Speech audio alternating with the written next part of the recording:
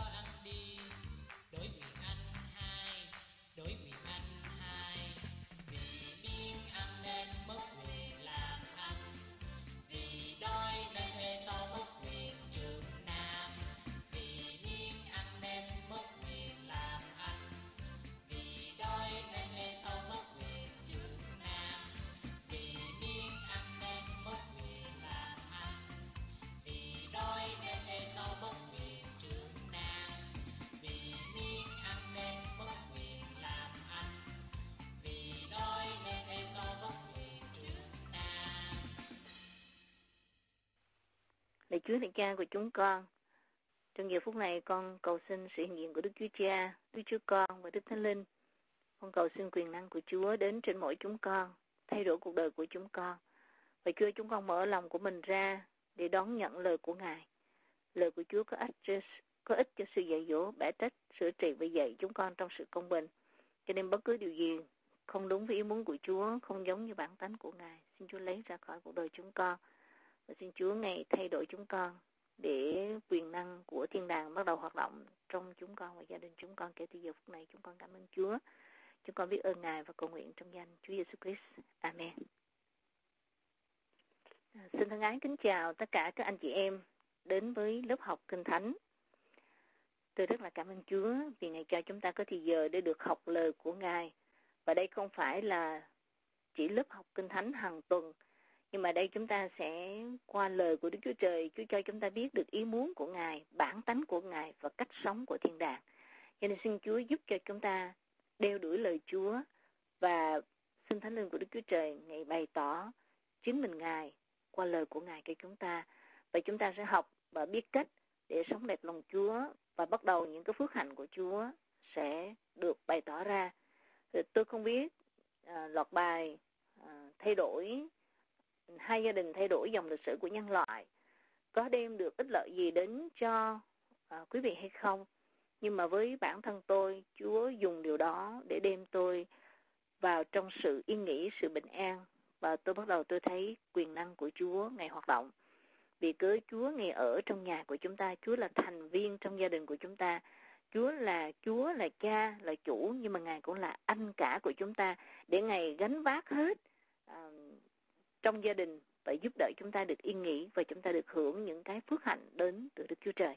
Cho nên xin Chúa cho chúng ta không phải học rồi bỏ qua, nhưng mà xin Chúa cho lời của Chúa bắt đầu thay đổi chúng ta và cho chúng ta nhận diện được ý muốn của Đức Chúa Trời và ứng dụng vào trong đời sống của mình để cuộc đời của chúng ta được phước. Hôm nay chúng ta học trong Matthew đoạn 5 câu 21 và 22. Đây là một phần trong các bài giảng trên núi của Chúa Giêsu.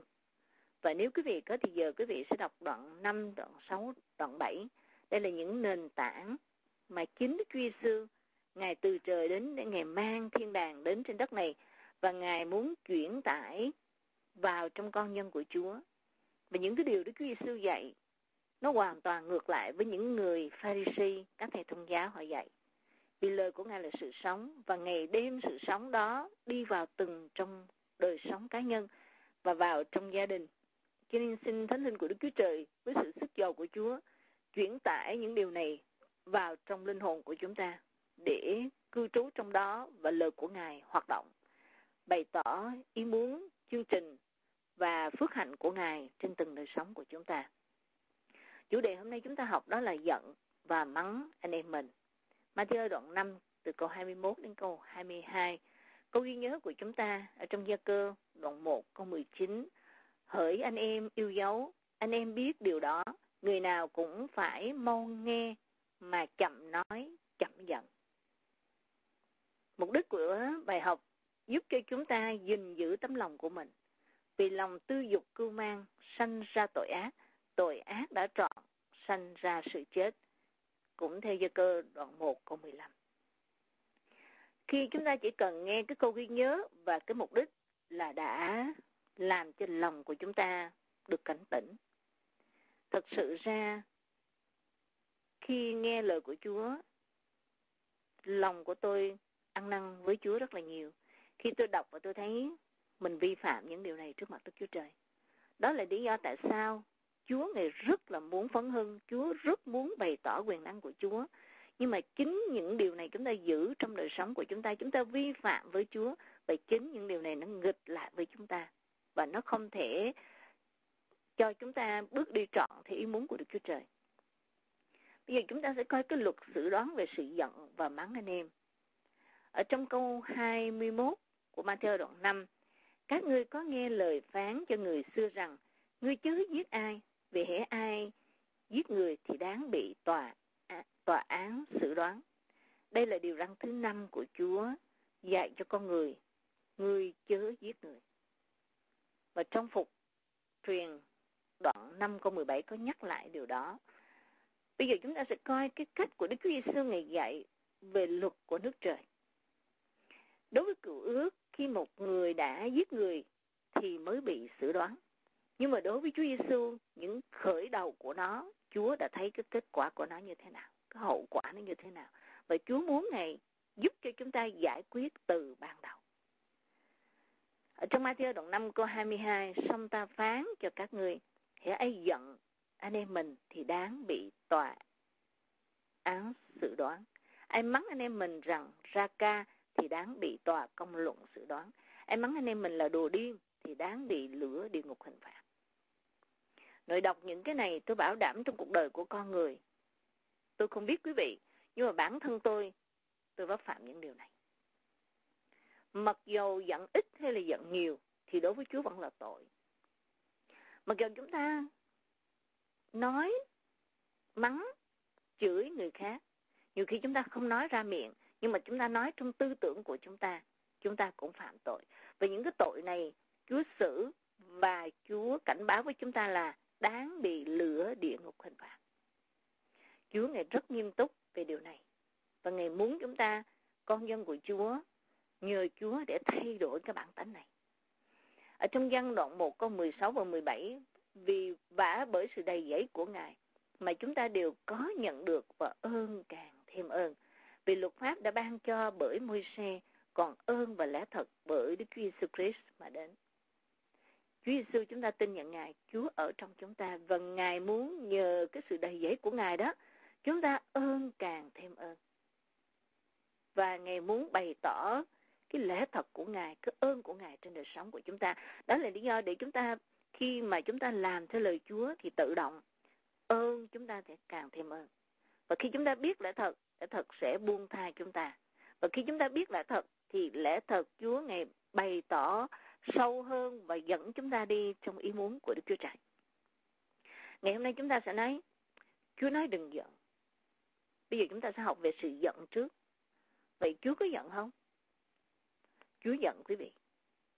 Ở trong Roma đoạn 1 câu 18, vả cơn giận của Đức Chúa Trời từ trên trời tỏ ra nghịch cùng mọi sự không tinh kính, mọi sự không công bình của những người dùng sự không công bình mà bắt hiếp lẽ thật. Chúa giận về những điều này. Ở trong mát đoạn 3 câu 5 phần A, bây giờ Ngài lấy lấy mắt liếc họ, vừa giận vừa buồn vì lòng họ cứng cỏi. Trong mát đoạn 10 câu 14, Đức Chúa Giêsu thấy vậy, bèn giận mà phán cùng môn đồ rằng hãy để các con trẻ đến cùng ta, đừng cấm chúng nó vì nước Đức Chúa Trời thuộc về những kẻ giống như con trẻ. Ngài giận vì cớ con người không tin Ngài, đi theo đường lối của ma quỷ. Ngài giận vì cớ ma quỷ đã dùng những con người để bắt hiếp lẽ thật của Đức Chúa Trời, chống lại lẽ thật của Đức Chúa Trời. Ngài giận vì cớ con người nghe theo lời của ma quỷ hơn là nghe theo ý muốn của Đức Chúa Trời. Vì chính những cái điều mà họ đang đi đó dẫn họ đến sự chết. Sự chết đời đời. Cho nên Chúa ngày buồn, ngày giận vì có những điều con người chống nghịch lại với Đức Chúa Trời. Bây giờ Ngài Chúa Ngài giận. Và Ngài có cho chúng ta giận hay không?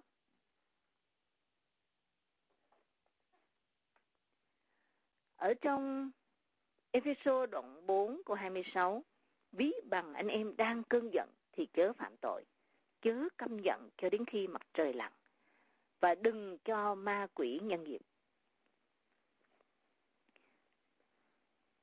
Công vụ đoạn 17 câu 16 chúng ta thấy ông Phaolô ông giận khi ông thấy cái thành Athens đầy dẫy là hình tượng và thờ đến nỗi mà thờ Chúa không biết, có nghĩa là thờ hết rồi sợ thiếu cho nên thờ luôn cái đó luôn để khỏi phải bị trật đi.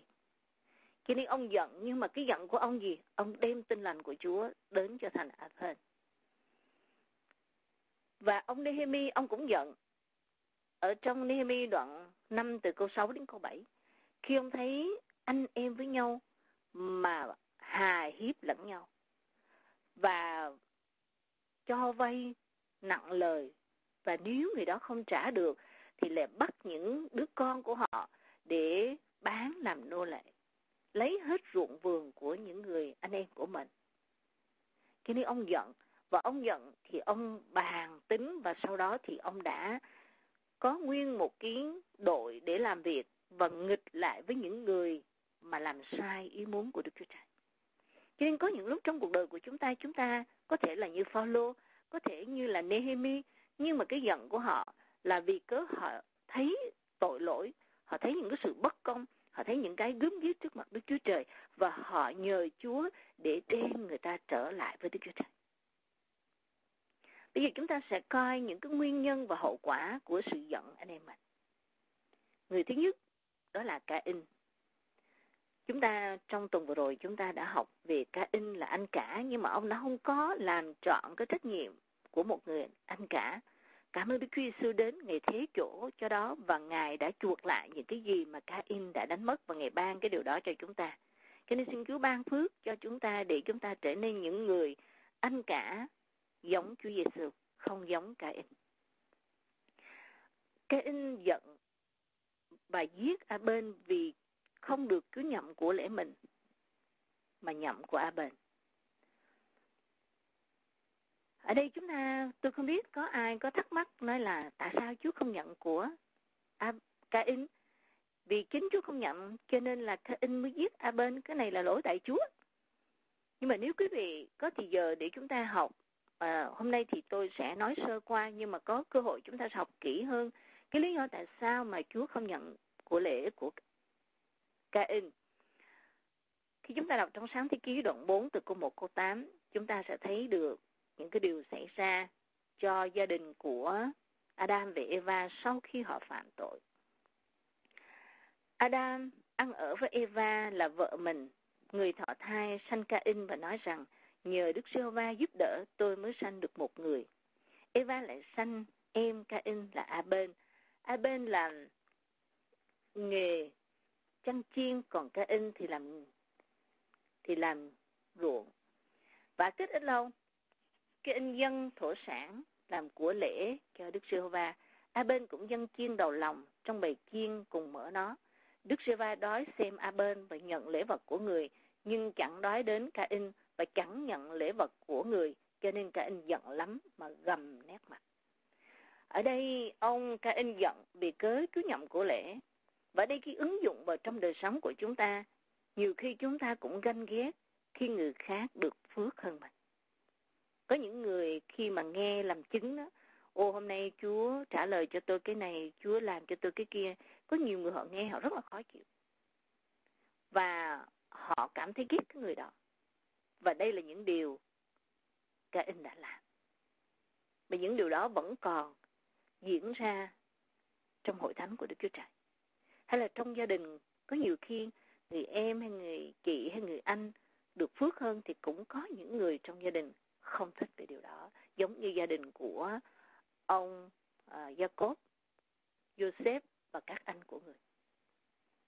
Cho nên ở đây chúng ta sẽ coi cái lý do tại sao mà Chúa không nhận của Cain. Khi chúng ta đọc câu 3, chúng ta thấy là vả cách ít lâu Cain dùng thổ sản làm của dân cho Đức Sơ Vàng. Ở đây nếu ông Cain ông dân cho Chúa ông không có làm đúng theo ý muốn của Chúa nếu ông dân của lễ là hoa quả hay là những cái mà ông đã trồng có mùa màng mà ông gặt được. Đi trong uh, Sức Yêu Tư Ký đoạn 22 câu 29 phần A, ngươi chớ trễ nải mà dâng cho ta những hoa quả đầu mùa của ngươi, chứa trong vựa và ép rượu chảy nơi bàn ép rượu. Nếu các anh dâng cho Chúa, Kinh Thánh không ghi là ông dân cái tốt nhất cho Chúa, ông dân hoa quả đầu mùa cho Chúa. Cho nên đây là một trong những cái sai của Cain. Và cái thái độ chúng ta thấy là ông chỉ lấy thổ sản, có nghĩa là có cái gì thì dân cái đấy chứ. Không có một cái sự tôn trọng, không có một cái sự kính kiền, không có một cái sự biết ơn về những của lễ mình dâng lên cho Đức Chúa Trời. Ngày hôm nay có nhiều người cũng vậy, đến hội thánh quăng cho Chúa mấy đồng. Nghĩ rằng là, ô, cái đó là mình dâng cho Chúa. Nhưng không đâu quý vị, cứ nhìn cái thái độ của chúng ta để cứ nhậm cái của lễ đó hay không. Một người đàn bà quá chỉ dâng một đồng tiền rất là nhỏ. Nhưng mà Chúa kể rằng bà dân rất là lớn vì bà dân với cả những cái gì mà bà có thể sống. Cho nên xin Chúa cho chúng ta của dân không bằng thái độ dân, tấm lòng để dân. Cho nên ông cái in ông đã dân sai những cái gì mà Chúa muốn. Và khi mà ở trong Lê Vi Ký đoạn 2 câu 1 cho đến câu 15, tôi chỉ đọc câu 1, quý vị có thì giờ quý vị sẽ đọc hết câu đó. Khi nào ai dâng cho Đức Sê Va một của lễ chay, thì lễ vật người phải bằng bột lọc có dầu và để nhũ hương lên trên. Và khi quý vị đọc thì quý vị thấy rằng cái cách dân của ca in nếu ông dân về hoa quả đầu mùa ông cũng không dân đúng theo cái cách mà Chúa muốn dạy hay là cái cách mà Chúa muốn. Bây giờ ông A Bên, ông dân của lễ, chúng ta thấy ông A Bên cũng dân chiên đầu lòng, trong bầy mình cùng mở nó. Ở trong dân số ký đoạn 18 câu 17, nhưng ngươi chớ chuột lại con đầu lòng của bò cái hoặc con đầu lòng của chiên cái hay là con đầu lòng của dê cái ấy là những vật thánh ngươi phải rưới huyết nó trên bàn thờ xong mở nó và làm của lễ dâng lên có mùi thơm cho đức sơ vàng nhiều khi chúng ta sẽ tự hỏi trong thời điểm đó Chúa có dạy cho về cách để dâng của lễ cho Chúa hay không? Kinh Thánh không nói. Nhưng mà chúng ta sẽ, tôi sẽ dùng vài câu kinh thánh để thấy rằng những người nào yêu mến Chúa, kính sợ Chúa, Ngài chỉ cho họ cái cách để dần. Có thể trong lúc đó, Adam và Eva được Chúa dạy sau khi họ phạm tội, họ phải có những cái của lễ để dâng lên cho Chúa.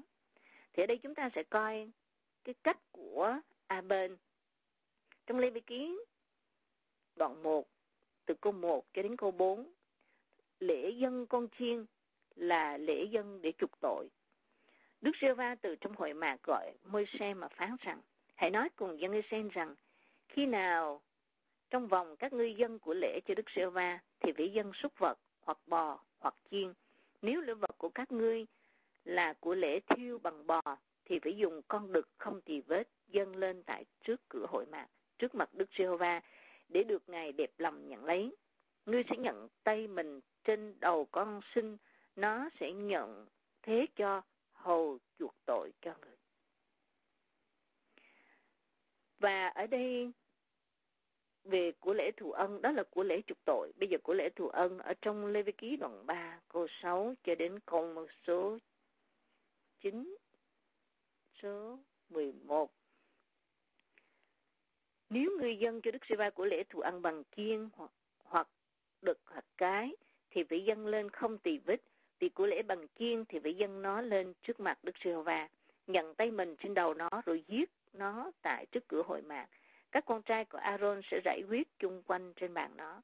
Do của lễ thù ân này, người vĩ dân làm của lễ dùng lửa cho Đức giê va mở và cái đuôi nguyên chặt gần cuối xương sống, mở chài và mở bộ lòng, hai trái cật mở trên hai trái cật nơi cạnh hông và tấm da mỏng bọc gan mở gần nơi hai trái cật thầy tế lễ sẽ xong các món đó trên bàn thờ ấy là thực vật về của lễ có lửa dâng cho Đức giê va ở trong câu 16 Lê Vi Ký đoạn 3, thầy tế lễ sẽ xong các món đó trên bàn thờ. Ấy là thực vật về của lễ, có lửa, dâng lên có mùi thơm, hết thảy mỡ đều thuộc về Đức giê va Ấy đó là luật đời đời cho dòng dõi các ngươi, mặc ở nơi nào, ngươi cho nên ăn mỡ hay là huyết.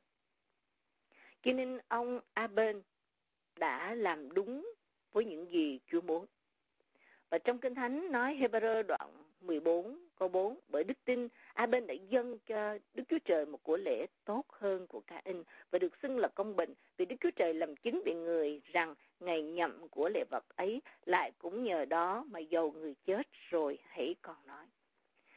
Và chúng ta sẽ thấy trong thời kỳ của Noe, sáng thế ký đoạn 8 từ câu 20 đến câu 22, ông lấy những cái lễ vật, những con thánh sạch và ông làm của lễ dâng lên có mùi hương cho Đức Chúa Trời. Và Kinh Thánh không nói rằng là Chúa nói với Noe là phải làm vậy làm vậy. Và ở trong Matthew đoạn 26 từ câu 6 cho đến câu số 13, một người nữ Kinh Thánh không có ghi tên trong cái phân đoạn Kinh Thánh này, nhưng mà bà đập cái chai dầu ra và đổ trên đầu Chúa. Và khi những người chung quanh nó cảm thấy bực mình về cái điều bà đã làm, thì Chúa Ngài nói như thế này, Đức Chúa Giêsu biết điều đó bèn phán cùng môn đồ rằng, sao các ngươi làm khó cho người đàn bà đó? Người đã làm việc tốt cho ta, vì các ngươi thường có kẻ nghèo ở cùng mình, song sẽ không có ta ở cùng luôn. Người đổ dầu thơm trên mình ta là để sửa soạn chôn xác ta đó. Chưa chắc cái người này biết về cái chương trình của Đức Chúa Trời nhiều. Nhưng mà khi bà có cái lòng để dâng cho Chúa, yêu thương Chúa, những cái việc của bà làm nó đi trong ý muốn của Đức Chúa Trời và được Đức Chúa Giêsu nhậm lấy, được Đức Chúa Giêsu khen. Cho nên có những cái Kinh Thánh không có viết, không có nghĩa là Chúa không bày tỏ. Cho nên xin Chúa Ngài giúp đỡ cho chúng ta để có những cái chúng ta dâng phải đẹp lòng Đức Chúa Trời. Những cái chúng ta dâng theo ý muốn của Đức Chúa Trời. Đừng nghĩ ô mình có gì thì mình dâng cái đó chứ sao Chúa khó vậy? Nhưng mà Chúa là Đức Chúa Trời công bình và Ngài có những cái luật lệ của vương quốc của nước Đức Chúa Trời. Cho nên Ngài muốn chúng ta đi theo những điều Chúa dạy để chúng ta được phước. Thật sự những cái chúng ta dâng để Ngài muốn ban phước cho chúng ta. Và Ngài đẹp lòng về chúng ta. Cho nên xin Chúa Ngài giúp đỡ cho chúng ta.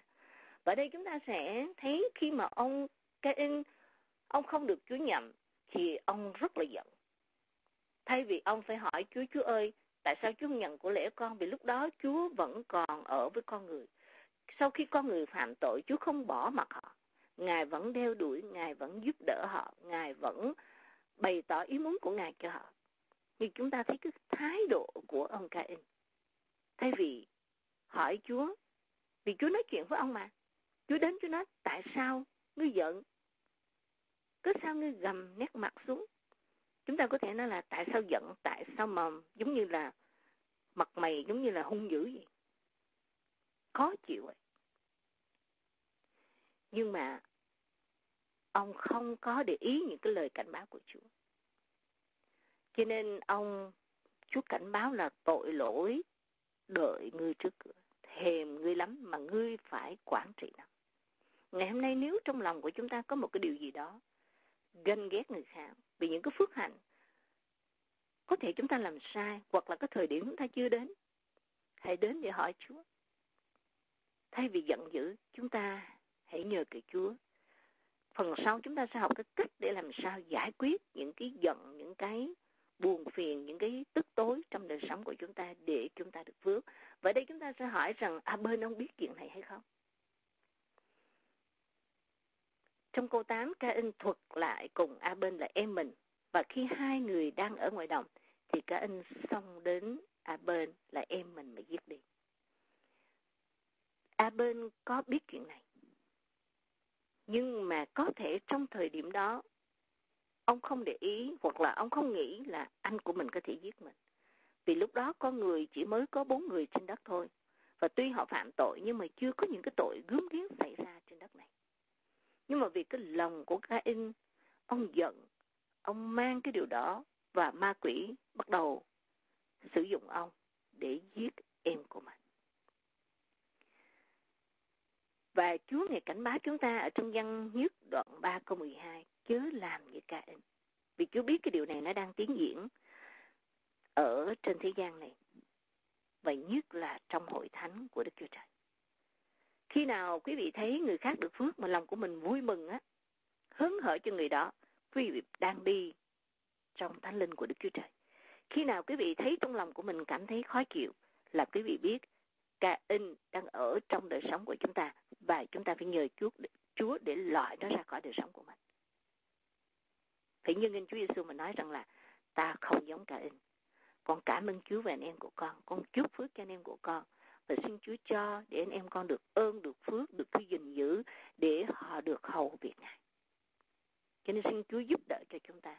Và đây cũng là một cái điều để chúng ta được cảnh báo khi có những người có những cái thái độ họ chống lại những cái ơn phước của chúng ta. Chúng ta nên xin Chúa bảo vệ chúng ta, che chở chúng ta.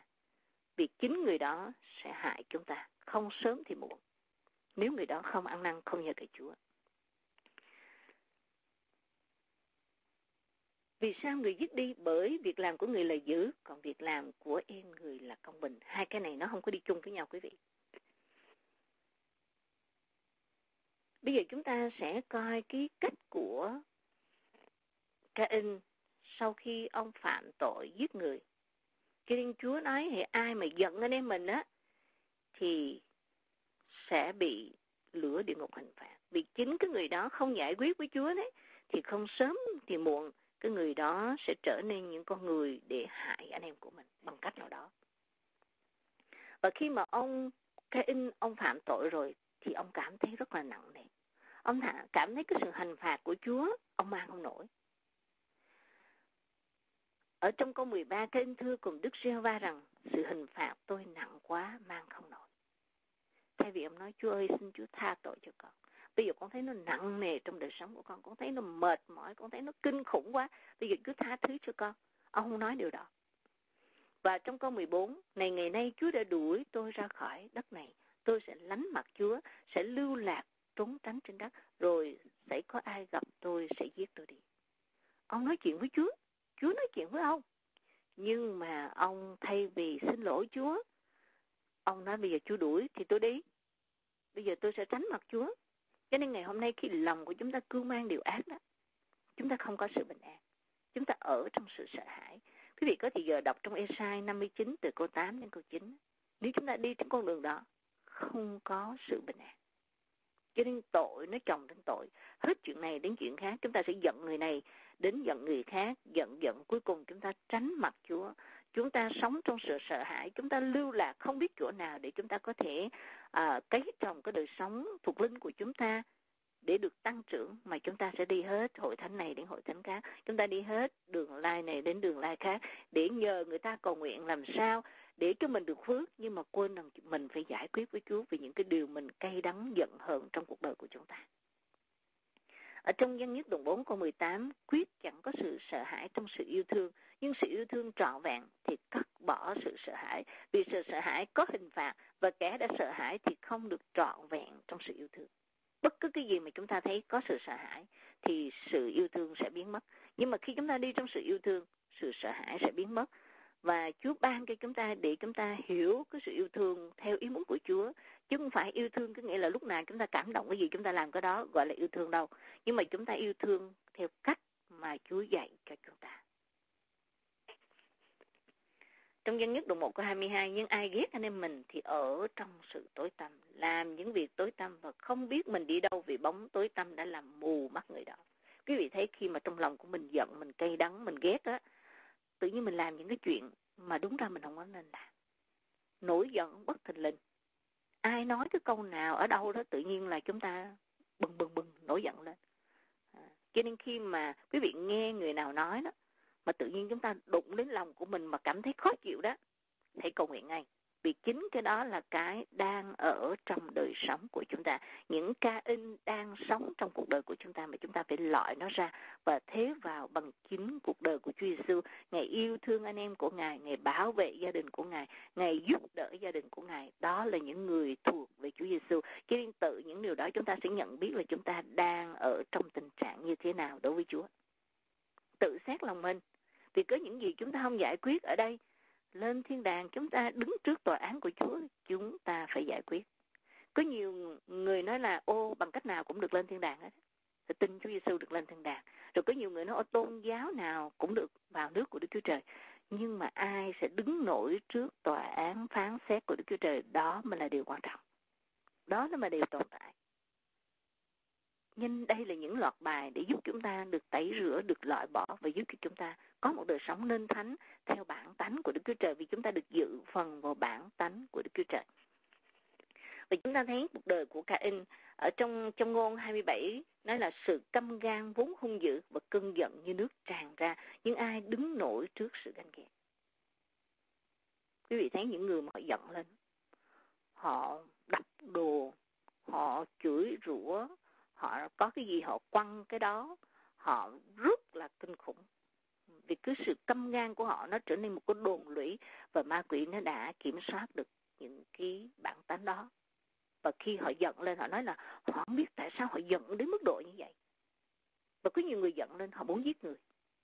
Cho nên xin Chúa ngày giúp đỡ cho chúng ta và đây chúng ta nói ủa tại sao lúc đó ông Abel ông không chạy trốn đi ta vì trong kinh thánh ở trong Matthew đoạn 10 câu 23 khi nào người ta bắt bớ các ngươi trong thành này thì hãy trốn qua thành kia tại sao ông à, ông ừ, Aben nó không trốn đi vì ông Gia Cốt đó ông trốn mà bây giờ chúng ta coi sự ông Esau và ông Gia Cốt. chuyện nó xảy ra và ông trốn thì nó có giải quyết được hay không? Trong sáng thế ký đoạn 27 câu 36 Esau liền nói rằng có phải vì người ta gọi nó là gia cốt mà nó hai lần chiếm lấy vị tôi rồi chăng? Nó đã chiếm quyền trưởng nam tôi và lại bây giờ còn chiếm sự phước lành của tôi nữa. Tiếp rằng cha chẳng có dành sự chúc phước chi cho tôi sao? Câu 41 Esau trở lòng ghét gia cốt bị cớ cha mình chúc phước cho người, bèn nói thầm trong lòng rằng ngày tang của cha đã hầu gần, vậy ta sẽ giết gia cốp em ta đi. Ông e sau ông quá coi thường cái quyền trưởng nam. Cho nên vì cớ biết điều đó, ông gia cốp ông thấy cái này là quý, ông chiếm cái đó. Nhưng mà sau đó ông lại lừa dối cha và anh của mình để cướp lấy cái phước mà đáng lý cái phước đó dành cho sao. Nếu quý vị nghe cái bài gia đình của Jacob và Rebecca, chúng ta tôi có giải thích trong vấn đề này. Cho nên Chúa Ngài muốn dành lại cho chúng ta trong Chúa Giêsu là anh cả. Cho nên Ngài dành lại những cái phước mà Chúa muốn dành cho chúng ta vì dễ lắm con người của chúng ta thờ ơ giống như đời sống của Esau. Khi đã mất rồi mới thấy tiếc. Nhưng mà ông nghĩ, ô cái quyền trưởng nam nó đâu có nghĩ gì đâu. Nhưng mà rất là quan trọng vì chính Đức Giêsu Ngài trở nên trưởng nam, Ngài trở nên anh cả để Ngài chuộc và Ngài giúp đỡ cho gia đình của Ngài. Cho nên Ngài muốn chúng ta là những người nào mới tin Chúa, chúng ta trở thành anh cả trong gia đình và chúng ta là những người để học theo cách của Đức Giêsu và để kính Chúa làm anh cả trong cuộc đời của chúng ta để Ngài có thể gánh vác và chúng ta không còn phải căng thẳng, không còn phải khốn khổ, không còn phải bực mình vì cớ Chúa Giêsu Ngài biết hết và Ngài giúp đỡ chúng ta. Cho nên xin Chúa giúp cho chúng ta đừng mang lấy tấm lòng của cả in hay là Esau, hai anh cả này không làm trọn cái trách nhiệm mà đáng lý họ phải có. Và khi mà ông Jacob và bà Rebecca người ta báo cho bà biết. Cho nên cuối cùng ông phải trốn. Ông không thể nào ở đó được. Và theo như cái cách nghĩ của ông Esau là ông Jacob sắp chết. Cho nên ông muốn giết ông à, ông Esau ông nói là cha của mình sắp chết cho nên bây giờ ông phải giết ông Jacob nhưng mà thật sự ra ông Isaac ông đâu có chết liền đâu. Cho đến khi đến ngày mà ông uh, Jacob trở lại ông Isaac vẫn còn sống bây giờ chúng ta sẽ coi cái sự chuyển tải hay là cái cách hay cái thái độ của ông sau sau khi giận mà chưa giết được ở trong sáng thế ký đoạn 32 câu 6, các sứ giả trở về nói cùng Jacob rằng, chúng tôi đã đi đến Esau, anh của chủ này người đang đem 400 người đến để rước chủ. Rước em mà rước tới 400 người. Và quý vị thấy cái ý định của ông Esau trước đây là ông kiếm cách để ông giết Jacob. Khi đêm ngay đêm đó Chúa đã đến và giúp đỡ ông Jacob. Ông phải ăn năn, ông phải cầu nguyện, ông phải vật lộn với Chúa. Và sau đó thì Chúa đã cho hai anh em được hòa lại với nhau. Tức nghĩa là Chúa can thiệp. Nếu Chúa không can thiệp thì chắc chắn ông Jacob sẽ chết dưới tay của Esau. Mà ông gia cốt ông đi lúc ông còn là một thanh niên. Khi ông trở về, ông có con cái, ông có vợ, ông có súc vật, ông có đủ mọi sự. Sau rất là nhiều năm, ông cách xa ảnh của mình. Và sau khi hai anh em đã đến đó, thì mỗi ngày cái tài sản hai người nó nhiều lên. Và trong đoạn 36 câu 6, Esau dẫn các vợ, anh trai, con gái mình, mọi người nhà và các bị chiên, lục súc và tài vật mình đã gây dựng tại xứ Canaan dời qua xứ khác cách xa Gia Cốp em mình. Tuy rằng hai anh em đã hòa nhau, nhưng mà bắt đầu có những cái về của cải như thế nào đó, hai anh em ở chung không được, cho nên cuối cùng Esau phải rời ra khỏi cái đất đó. Ngày hôm nay cũng vậy, có rất là nhiều người vì cớ sự cay đắng họ phải bỏ hội thánh để họ đi. Vì cay đắng mục sư, vì cái đấng những người trong ban hát, vì cái đấng những người trong ban trị sự, vì cái đấng tất cả những cái nhiều khi không thích những người mà thường đến nhóm thì gặp họ hoài bực mình quá. Cho nên cuối cùng phải bỏ để đi qua hội thánh khác. Thật sự không có gì sai nếu chúng ta không có ở hội thánh này vì mà đi qua hội thánh khác. Nhưng mà đi bằng cách nào? Đi vì cớ Chúa đưa mình đi đi vì cớ sự bình an đi vì cớ ở tại nơi đó có những nhu cầu mà Chúa muốn dùng mình. Chúng ta đi chúng ta nói với một sư, chúng ta được phước, một sư cũng vui lòng để gửi chúng ta đi. Có một bà kia và ở trong hội thánh người Mỹ nha, chắc Việt Nam thì không có cái vụ này. Bà gây rắc rối cho ông một sư rất là nhiều. Và ông phải cầu nguyện nhờ cái Chúa, vì cái gì ra là bà cũng bực mình, cái gì ra bà cũng bắt bớ. Thì một ngày kia bà đi đến một hội thánh khác, và sau đó bà thích cái hội thánh kia hơn. Và bà nói thẳng với ông một sư, bây giờ tôi đi qua hội thánh khác ông mục sư mừng quá ông viết thư và ông gửi cho ông mục sư đó. Ông nói là ông rất là vui lòng để cho bà này đi khỏi hội thánh. Và ông nói rằng là ừ, ông rất là sung sướng vì ông được thoát ra khỏi sự bắt bớ của cái bà đó. Cho nên xin Chúa giúp cho chúng ta để chúng ta đi trong ý muốn của Chúa, đi trong tình yêu, đi trong sự sống, thì Chúa Ngài sẽ ban phước trên đời sống của chúng ta. Vì tất cả nơi nào cũng là anh em với nhau, cho nên chúng ta không có kỳ thị ghen ghét lẫn nhau. Nhưng mà chúng ta phải làm sao để Chúa Ngài bày tỏ ý muốn của Chúa khi chúng ta đến đó, đừng đến đó gây rắc rối tập thứ hai cho các đệ tử Chúa hay là tại nơi đó. Đó là điều quan trọng. Và khi mà ông Esau và ông Jacob cuộc đời của ông Jacob sau khi ở tại Canaan và sau đó thì họ đã đi xuống Egypto và họ đã trở nên nô lệ 400 hay là bộ hơn 400 năm sau. Và sau khi Chúa ngày giải cứu dân Israel ra khỏi thì họ đi ngang qua xứ Edom. Vì họ đi ngang qua xứ đó họ sẽ đi vào trong đất hứa nó gần lắm. Nhưng mà vua của Edom, cứ nghĩa là ông Jacob chết rồi các người à, 12 người con là không còn nữa, bây giờ là một cái thế hệ khác rồi. 400 năm sau rồi. Nhưng mà quý vị coi thử điều gì xảy ra sau hơn 400 năm. Ở trong dân số ký đoạn 20 câu 20, nhưng Edom đáp rằng, ngươi chẳng được qua đâu. Edom bèn đêm quần chúng rất đông, tay cầm binh khí ra đón Israel.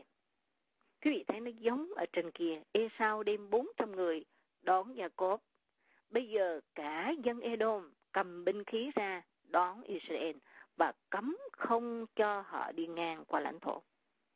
Họ chỉ xin đi ngang thôi, họ không có làm cái gì hết. Và ông Môi-se nói là chúng ta là em của vua vì cớ Gia-cốp là em của Esau. Nhưng mà họ không còn quan tâm điều đó mà họ nói hãy đi ngang qua họ sẽ giết. Nên đừng nghĩ rằng những cái chúng ta làm trong hiện tại không ảnh hưởng đến tương lai đâu quý vị. Chúng ta cảm ơn Đức Thánh Linh là ngày giúp đỡ chúng ta để ngày giúp cho chúng ta diệt nó tận gốc. Và Ngài muốn đem sự phục hòa đến cho con dân của Đức Chúa Trời. Cho nên xin Chúa ngày ban ơn và ngày giúp đỡ cho chúng ta để khi nhớ đến ca in, khi nhớ đến Esau, chúng ta nói rằng Chúa ơi chúng con không muốn những điều đó. Chúng con không muốn chuyển tải từ đời của chúng con đến con của chúng con, anh chị em của chúng con, hậu tự của chúng con, giống như là cuộc đời của Cain hay là cuộc đời của Esau. Và đây là một cái điều Chúa cảnh báo cho hội thánh của Đức Chúa Trời. Bây giờ chúng ta coi trong cái thời kỳ tăng ước, các thầy thông giáo và người Pharisee, họ giận Chúa vì Chúa không làm theo luật pháp môi xe theo cách họ hiểu. Vì cớ họ sợ mất cái địa vị của họ. Và Đức Chúa Giêsu đến ngày dạy ngược lại những điều họ dạy. Vì họ hiểu sai luật pháp của Đức Chúa Trời. Cho nên chính cái điều đó làm cho họ không nhận ra đấng đã hứa trong luật pháp. Đấng mà môi xe nói tiên tri, đấng mà các tiên tri đã nói về Chúa Giêsu. Họ học đó, họ nắm giữ luật pháp đó, họ dạy đó, nhưng mà bây giờ Chúa Giêsu đứng trước mặt họ để làm những công việc của thiên đàng, họ hoàn toàn không biết. Đây cũng là một cái điều để cảnh báo trong đời sống của chúng ta. Không có gì sai để chúng ta hiểu về lời Chúa. Không có gì sai để chúng ta nắm rõ về lời của Chúa. Nhưng mà điều Ngài mong muốn là chúng ta có nhận biết Đức Chúa Giêsu Ngài đang muốn làm điều gì cho chúng ta, hội thánh chúng ta, gia đình chúng ta hay không. Hay chúng ta sẽ rơi trong tình trạng hiểu biết nhiều quá và trở nên những con người Pharisee, như trở nên những thầy của luật pháp chống lại Đức Chúa Giêsu là đấng mà đáng lý ra họ phải là người nhận biết trước. Ở trong Luca đoạn 6 có 11, nhưng họ giận lắm, bèn bàn cùng nhau về việc mình có thể xử với Đức Chúa Giêsu bằng cách nào. Khi quý vị đọc từ câu 7 cho đến câu 11, quý vị thấy Chúa Giêsu ngày đến và Ngài muốn chữa lành cho các người teo tay. Nhưng mà họ dòm hành, họ coi thì Chúa Giêsu có chữa lành trong ngày sa bát hay không. Vì họ nghĩ ngày sa bát là không được làm cái chuyện gì hết. Nhưng mà Chúa Giêsu là Chúa của ngày sa bát. Chúa Giêsu nói là trong ngày sa bát có quyền để làm điều lành. Cái lý do Chúa Ngài muốn cho dân sen yên nghỉ ngày sa bát vì họ, Ngài muốn cho họ được thỏa thích trong cái sự phước hạnh của Ngài. Yên nghỉ cái phần xác này để thờ phượng Đức Chúa Trời, để yêu thương Ngài, để dâng tế lễ cho Ngài. Nhưng mà bây giờ họ làm cái đó trở nên cứng ngắc. Họ không có hiểu biết cái luật của thiên đàng là như thế nào. Cho nên Đức Chúa Giêsu ngày đến để Ngài dạy và Ngài chỉnh đốn luật pháp của Ngài trên đất này. Đây là luật của thiên đàng. Ở trong văn đoạn 7 câu 23, nếu người đàn ông chịu phép cất bì trong ngày sa bát cho khỏi phạm luật pháp môi xe, thì sao tới chữa lành cho cả mình người được bệnh được lành trong ngày sa bát mà các ngươi lại nổi giận? Có nhiều nơi, chính những người lãnh đạo ngăn trở vương quốc của Đức Chúa Trời. Và đây chúng ta coi một cái điều nữa, đó là thầy thượng phẩm và người Sadducee. Trong thời kỳ của Chúa Giêsu, họ giết rồi Chúa sống lại, Chúa về trời rồi bây giờ các môn đồ của Chúa, Thánh linh của Đức Chúa Trời vận hành trong cái thời điểm đó rất là mạnh. Nhưng mà chúng ta coi cái thái độ của họ đối với các môn đồ của Chúa. Công vụ đoạn 5 câu 17, bây giờ thầy cả thượng phẩm là cái người cao nhất ở trong cái đền thờ đó. Và những kẻ theo người ấy là phe Sadducee. Đều đứng dậy đầy lòng ghen tường.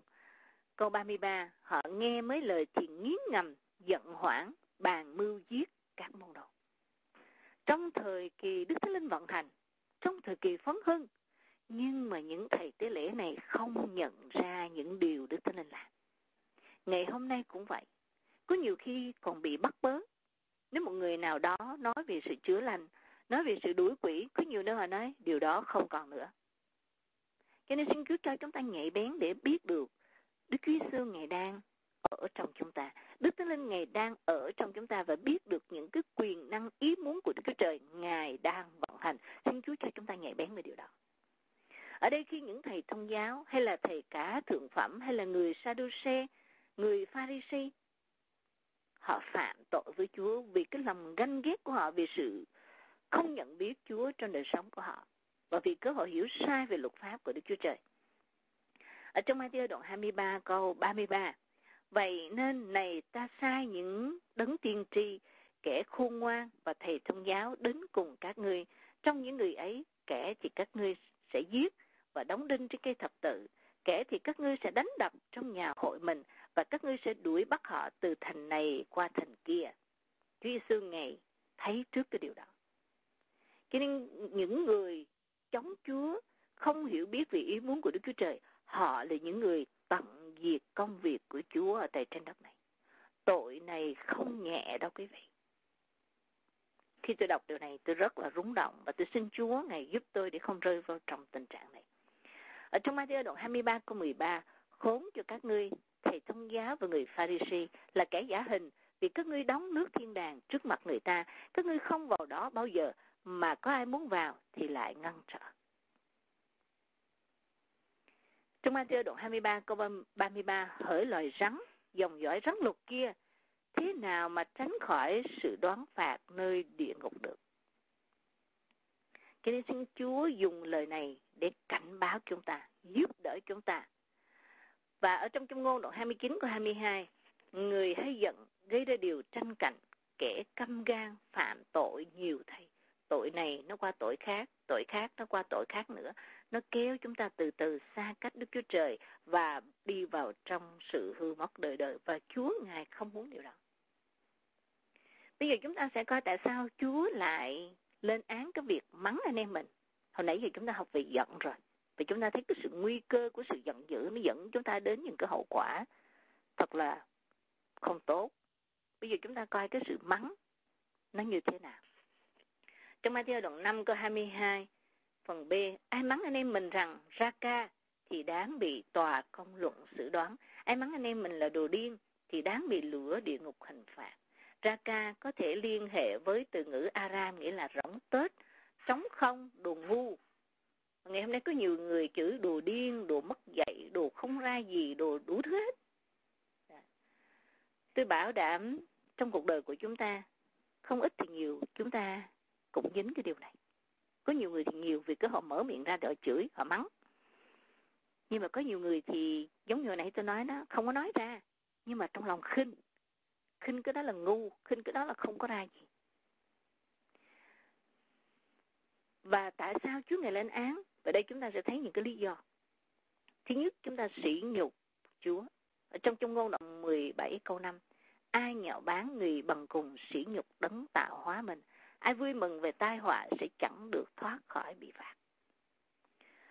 Đâu có ai muốn ngu đâu quý vị. Đâu có ai muốn khờ, muốn điên, muốn dại đâu quý vị. Nhưng mà vì một cái hoàn cảnh nào đó, nó làm hại cái người đó. Cho nên tâm trí của người đó trở nên không có nhạy bén với những cái đúng ra họ cần phải biết.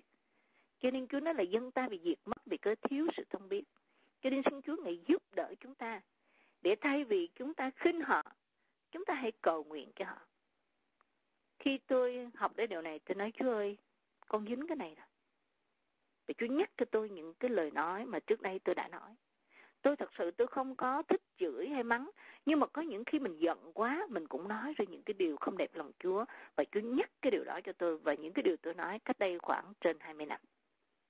Mình sẽ nói ủa lạ, tại sao mình tin Chúa là Chúa tha, mà tại sao những cái đó? Cái nào chúng ta xưng Chúa tha? Cái nào chúng ta chưa xưng, nó vẫn còn đó, nó nghịch lại với chúng ta. Cho nên khi mà chúng ta vào trong nước trời đó, Chúa nói là mọi người sẽ khai trình những lời nói hư không của mình. Tại sao nó vẫn còn lên đó? Thì cái chúng ta chưa giải quyết cái này. Cho nên tôi ăn năn với Chúa, tôi xin Chúa giúp và Chúa, xin Chúa cho tôi mang lấy cái tâm trí của Ngài để thay vì khinh rẻ, thay vì bực bội, thay vì mắng, nói những cái điều không tốt về người khác, xin Chúa trong lòng của tôi với quý vị tình thương để cầu thay cho họ vì cái hoàn cảnh của họ thật là đáng thương. Ở tại hội thánh của tôi có một cái cô đó.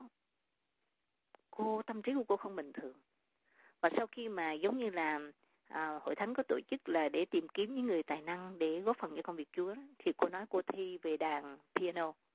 Nhưng mà khi cô lên thì cô hoàn toàn cô không có thể đàn được như cái điều mà cô mong muốn hay là mọi người mong muốn không biết bị cô sợ quá hay như thế nào thì bà mục sư của tôi bà đến bà ngồi gần và bà khích lệ bà nói ô làm thế này làm kia bà giúp đỡ và khi mà cô chỉ cần đánh được vài chữ thôi đánh được vài câu thôi thì tất cả hội thánh giống như vỗ tay để khích lệ cái cô đó Cho nên tôi cảm động về những cái hình ảnh đó. Xin Chúa Ngài giúp đỡ cho chúng ta. Không phải là khen dối, mà là biết rằng cổ rất là lúng túng và rất là bị sỉ nhục vì cớ mình không có làm được điều đó. Cho nên xin Chúa Ngài giúp đỡ chúng ta. Và một điều nữa đó là chúng ta rủa xả hình ảnh của Chúa khi chúng ta giận, chúng ta mắng người khác. Ở trong gia cơ đoạn 3 câu 9, bởi cái lưỡi chúng ta khen ngợi Chúa, cha chúng ta, và cũng bởi nó mà chúng ta rủa xả loài người là loài tạo theo hình ảnh Đức Chúa Trời. Chúa tạo dựng ra họ. Họ như thế nào Chúa sẽ giải quyết vì cớ mỗi người phải trả lời về tội của mình, Chúa không nói bây giờ con phải trả lời cho tội của ông Nguyễn văn A, văn B, văn C. Bây giờ mỗi người chúng ta khi đứng trước tòa án của Chúa, không ai đổ tội cho ai được hết, mà tự mình phải đối diện với những điều mình làm ở tại trên đất này. Cho nên bây giờ khi ở trong nhà thờ chúng ta hát, chúng ta tôn cao Chúa, chúng ta công bố, chúng ta cầu nguyện, chúng ta dâng hiến, chúng ta làm đủ mọi thứ, ra một cái, bắt đầu cái môi miệng của chúng ta nghịch lại với những gì mà chúng ta vừa mới nói. Cho nên xin Chúa ngày cho chúng ta để chúng ta tôn trọng những tạo vật của Đức Chúa Trời và họ như thế nào. Chúng ta nhờ Chúa để giúp đỡ họ, không giúp đỡ họ được, hãy cầu nguyện cho họ hơn là rủa xả hay là khinh rẻ họ. Có một ông mục sư, ông đến ông nhậm chức hội thánh và khi ông đến thì ông dạ cải trang như là một người à, vô gia cư một người nghèo một người ăn xin. Thì ông đến thì có mấy người chào ông thôi. Còn ai cũng né ông hết vì ông mặc đồ rất là dơ giấy tóc tai nhìn không ra gì. Và sau đó thì khi mà mời cái người mà nhận cái quản nghiệm hội thánh hội thánh rất là lớn thì ông bước lên. Tất cả mọi người kinh ngạc đó. sau đó thì họ ăn năn và ông nói rằng là hội thánh của Chúa là hội thánh của sự yêu thương nhưng mà bao nhiêu người trong quý vị làm được điều đó? Và sau đó thì Chúa đã dùng ông và đem cái sự ăn năn đến cho những người ở trong hội thánh đó. Cho nên xin Chúa giúp ngay giờ phút này nếu ai rơi trong tình trạng này, hãy ăn năn, hãy xin Chúa tha thứ và xin Chúa thay đổi mình kể từ giờ phút này. Và một cái lý do nữa, ở trong Ephesos đoạn 4 câu 22 là đừng cho ma quỷ nhận nghiệp ở trên trong cái sự giận dữ đừng cho ma quỷ nhân dịp để tấn công vào trong đời sống của chúng ta, dẫn chúng ta đến sự chết. Bây giờ ở trong cái sự chửi mắng của chúng ta chúng ta cũng đừng cho ma quỷ nhân dịp, vì chúng ta mở miệng ra là chúng ta kết nối với Chúa hay là kết nối với ma quỷ. Trong Thi Thiên 109 câu 17 nó ưa sự rủa xả, sự rủa xả bèn lâm vào nó, cũng không thích chút phước phước bèn cách xa nó.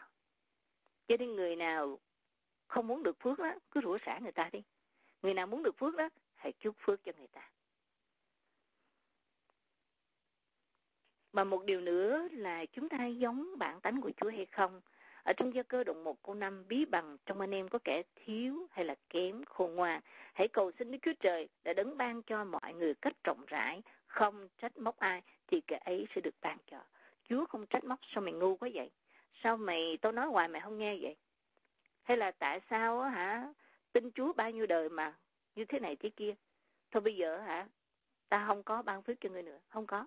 Người nào nhận biết tình trạng thiếu thốn của mình mình bị người ta chê hay là mình làm cái gì đó không được, hãy xin thánh linh của đức chúa trời là thần khôn ngoan. Hãy xin sự khôn ngoan của ngài. Ngài sẽ đến để ngài giúp đỡ cho chúng ta và từng bước ngài sẽ dẫn chúng ta đi và chúng ta sẽ được thành công, chúng ta sẽ được phước và nhiều người sẽ được phước qua cuộc đời của chúng ta và có rất là nhiều người họ chứng minh trước đây họ là những con người mà bị thiên hạ bỏ đó. Nhưng mà khi thánh linh của ngài đến, ngài đã đem sự biến đổi và ngài sử dụng những con người đó, ngài nhận hết sự vinh hiển. Trong trường đạo đoạn 7 câu 9 trước vội giận, vì giận ở trong lòng kẻ ngu muội. Có nhiều người họ nghĩ là người ta ngu, cho nên họ giận quá, họ mắng, họ chửi người ta. Nhưng mà kinh thánh là những người mà giận, mà chửi, mắng người ta đó, là chính họ là kẻ ngu muội. Vì sao? Họ đánh mất những cái phước hạnh họ đã xúc phạm đến tạo vật mà Đức Chúa Trời đã tạo dựng. Cho nên đây là một vấn đề rất là nghiêm trọng. Xin Chúa giúp để thay đổi chúng ta và trong tương lai quyền năng của thiên đàng bắt đầu hoạt động khi con dân của Chúa từ bỏ tội lỗi những tánh hư thật xấu trong đời sống của mình. Bây giờ cái cách để giải quyết sự mắng hay giận anh em mình như thế nào? Cái thứ nhất trong đời sống về thuộc linh hàng ngày của chúng ta. Ở trong gia cơ đoạn 1 câu 18, ấy chính Ngài thì ý muốn mình đã dùng lời chân thật sanh chúng ta, hầu cho chúng ta được nên như trái đầu mùa của những vật Ngài dựng nên. ở trong gia cơ đoạn 1 câu 21 vậy hãy bỏ đi mọi điều ô uế mọi điều gian ác còn lại đem lòng nhu mì nhận lấy lời đã trồng trong anh em và lời cứu được linh hồn anh em cái linh của chúng ta khi chúng ta tin nhận Chúa chúng ta được cứu rồi nhưng cái phần hồn của chúng ta là lý trí, ý chí và tình cảm. Cái này nó rất là dễ bị dơ, dễ bị phạm tội, dễ bị dị ứng bởi những cái chung quanh chúng ta. Thì bây giờ nhờ lời của Đức Chúa Trời, chúng ta cứu cái linh hồn của mình. Ví dụ, chúng ta muốn giận, chúng ta nhớ lại những cái câu kinh thánh này. Ô Chúa ơi, lời Chúa dạy, con không muốn sai, con muốn làm điều đó. Xin Chúa cứu con. Ừ. và có nhiều người, khi mà họ giận đó thay vì họ chửi, họ nói, hallelujah, tự nhiên họ đắc thắng điều đó và có nhiều người họ giận đó họ kiến ăn họ cầu nguyện Chúa giải cứu họ ra khỏi sự giận dữ đó cho nên Chúa Ngài muốn giúp cho chúng ta bởi lời của Ngài để chúng ta được sanh lại và trở nên những người đại diện cho Chúa Giêsu trên đất này để gia đình của Ngài là hội thánh của Chúa được phước và gia đình của Ngài là gia đình mà Chúa đặt những người trong gia đình của chúng ta đó, cha mẹ, anh chị em đó. Chúa Ngài đang ở giữa đó và Ngài nghe, Ngài thấy những điều chúng ta làm. Một điều nữa đó là để giải quyết cái vấn đề giận mắng ở trong Timothy nhất đoạn 2 câu 8. Vậy ta muốn những người đàn ông đều dơ tay thánh sạch lên trời mà cầu nguyện khắp mọi nơi chớ có giận dữ và cãi cọ. Nói vậy bây giờ Chúa nói là mấy đàn, người đàn ông dơ tay thánh sạch cầu nguyện không giận dữ, không cãi cọ. Bây giờ mấy bạn phụ nữ có quyền phải không ạ? À? Trước đây khi ông Phaolô nói không có thời điểm đó những người nữ phải yên lặng cho nên đa số những người nam họ được phát biểu. Và thay vì họ là những người để phát biểu, để giúp đỡ hội thánh, thì họ là những người giận dữ.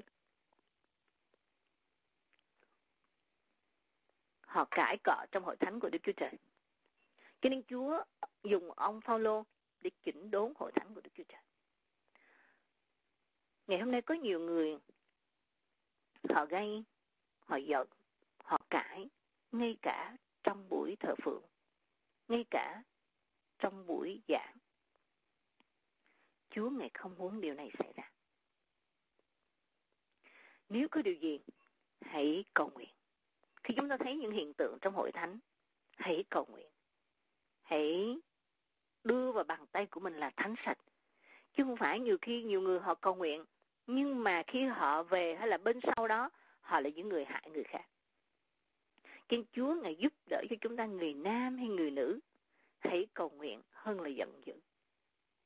Hãy đưa tay thánh sạch mình lên trời hơn là cãi cọ. Xin Chúa cứu chúng ta. Và chúng ta gần gũi với Chúa để xin Chúa Ngài giúp đỡ cho chúng ta. Ở trong Esai 50 câu 4, Chúa giê va đã ban cho ta cái lưỡi của người được dạy dỗ, hầu cho ta biết dùng lời nói nâng đỡ kẻ mệt mỏi. Ngài đánh thức ta mỗi buổi sớm mai, đứng đánh thức ta ta để nghe lời Ngài dạy như học trò vậy.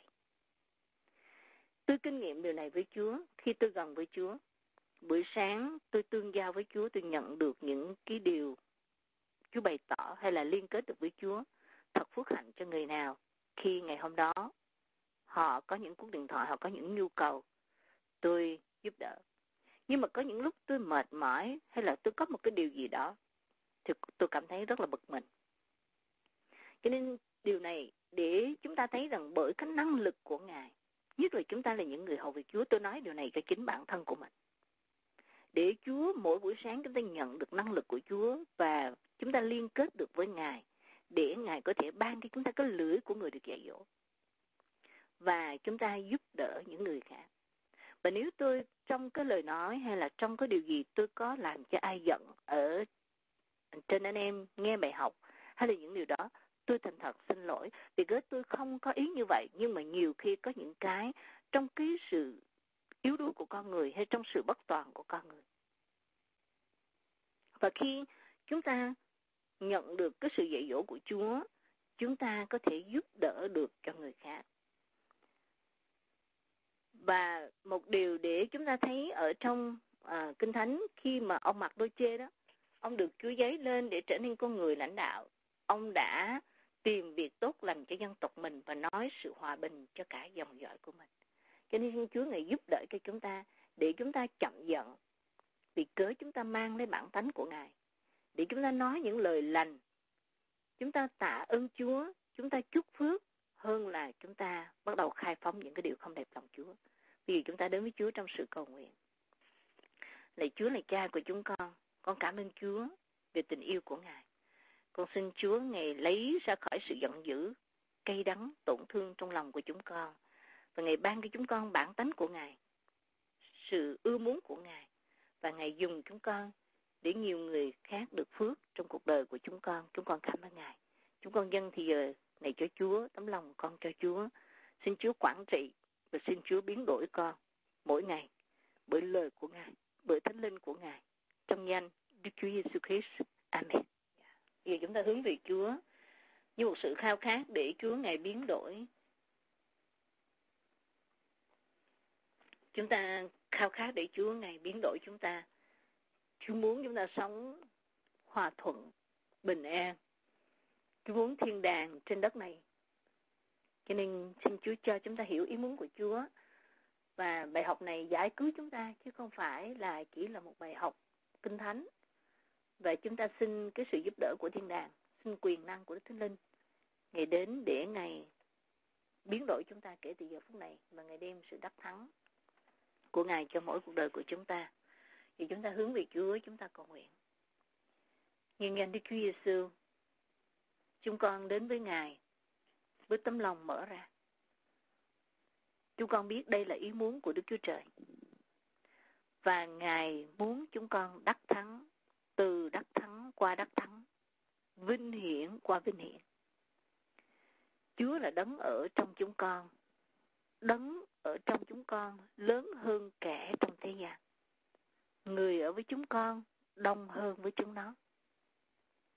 Và chơi mạng lệnh của Ngài, Ngài bảo chúng con đừng giận, đừng mắng anh em mình. Bây giờ con muốn điều này được thực hiện trong cuộc đời của chúng con kể từ giờ phút này. Trong danh Đức Chúa Jesus Christ, ta công bố bẻ gãy mọi sự rủa xả của linh nóng giận. Những sự chuyển tải đến từ Adam, Eva, Cain, Esau hay là dòng dõi tổ phụ của chúng con mang bản tánh nóng giận này. Bây giờ chuyển qua chúng con. Và Chúa vì sự nóng giận, chúng con phá công việc Chúa hơn là xây dựng cho công việc nhà của Ngài được vững mạnh. Giờ chúng con ăn năn tất cả những lời nói từ trước đến giờ. Chúng con giận, chúng con mắng, chúng con chửi, chúng con đập đồ, chúng con nghĩ xấu cho người khác, chúng con rủa xả người khác. Chúng con vi phạm rất là nhiều. Bây giờ chúng con ăn năn. Xin Chúa rửa sạch tội của chúng con. Và Chúa ơi, nếu Chúa nhắc cho chúng con, chúng con muốn được giải quyết tại dưới đất này. Vì khi chúng con xưng tội mình, thì Ngài là thành tính công bình, tha tội cho chúng con và làm cho chúng con sạch mọi điều gian ác. Cho nên xin Thánh Linh của Chúa đến trên lòng của chúng con, tra xét, chỉ cho chúng con. Nơi nào chúng con đã mở cửa.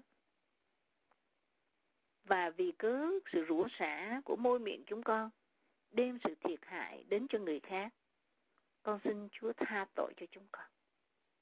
Và xin Chúa ngày ban phước, ngày tha thứ cho những người mà chúng con rủa xả và giúp họ tha thứ cho chúng con. Xin tình yêu của Ngài tuôn đổ trên chúng con trong giờ phút này để chúng con mặc lấy sự yêu thương của Chúa. Chúng con nối kết với bản tánh của Đức Chúa Trời vì Ngài cho chúng con được dự phần vào bản tánh của Ngài. Nhân danh Chúa Giêsu, cầu xin quyền năng, sự sống, phục sinh của Ngài bởi sự vận hành của Đức Thánh Linh đầy dẫy trên chúng con, đắc thắng trên chúng con. Chúng con đạp đổ những đồn lũy của ma quỷ đã xây dựng vì hoàn cảnh, vì sự chuyển tải từ nơi tổ phụ, là vì bất cứ điều gì đã làm tổn thương cuộc đời của chúng con. Ngay giờ phút này, con công bố, bẻ gãy, đoạn tuyệt, từ chối những gì mà tổ phụ chúng con đã ký kết hay là chính bản thân của con đã ký kết với Satan. Chúng con công bố và ra lệnh cho quyền lực của ma quỷ những sự ảnh hưởng của nó phải lui ra khỏi gia đình của con, bản thân của con, linh hồn của con.